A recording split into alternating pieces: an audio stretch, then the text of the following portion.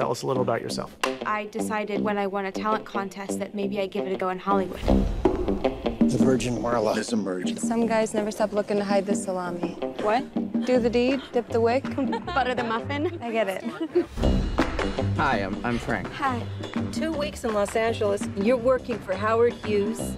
No harm having high hopes, ma'am. $400 a week on top of this. From all I've read about Howard Hughes, I hope he doesn't expect to meet you in some hotel room. Mr. Hughes, I'd like to thank you for my acting classes, thank you for my ballet classes, and thank you for the chance to become a star. What the hell is she doing here? You said you wanted the girl with, with the two ends. Yes, Marilyn Monroe. Ah. That's Marla Mabrey. She's a Baptist nun. Anyway, amen. You do know why Baptists think sex is bad, don't you? Because it might lead to dancing. Maybe I'm not the right girl for this. I'm a square. A movie actress should have big bosoms and be sexy. I mean, in this town, aren't those the rules? You're an exception. The rules don't apply to you. One day I told my friend I was terribly blue. Was it far too late to do? My fiance believes that once you've been intimate in the eyes of God, you're committed to that person for the rest of your life. Then he answered. So she believes that you're already married.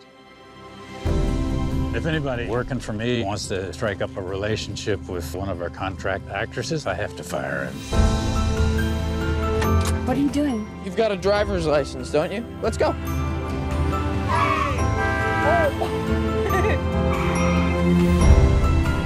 Have you heard from people that I'm crazy?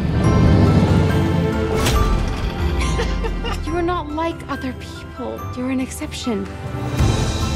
Something we didn't plan on has happened.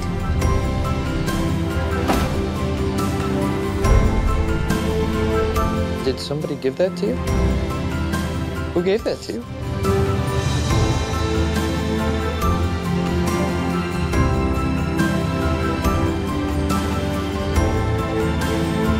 You are a gifted young woman with a wonderful future. Nobody's getting any younger. When you told me the rules don't apply to me, you know, they don't apply to you either.